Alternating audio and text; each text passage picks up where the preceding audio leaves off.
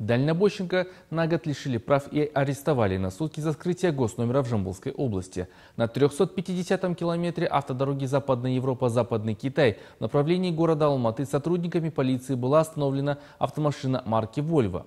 Водитель соседнего государства управлял транспортным средством с государственными регистрационными номерными знаками, оборудованными с применением устройств и материалов, препятствующих их идентификации, либо позволяющих их видоизменить или скрыть, то есть установить на них черный хомут. На водителя составлен административный протокол по части 4 590 статьи КоАП РК. В суде мужчина вину признал и сказал, что сожалеет о случившемся. Решением Меркенского районного суда он получил административное взыскание в виде ареста сроком на одни сутки и лишения права управления автомобилем сроком на один год.